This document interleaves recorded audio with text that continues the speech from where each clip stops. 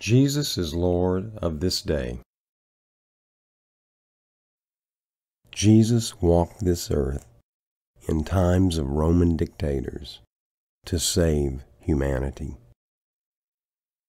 Since Adam first sinned, Jesus has been working to save humanity. From the smallest detail to the grandest overarching event in human history, Jesus has tirelessly worked and sacrificed with too little appreciation from humanity, the focus of his love. So it is still. Events upon which the attention of all heaven is centered are undiscerned.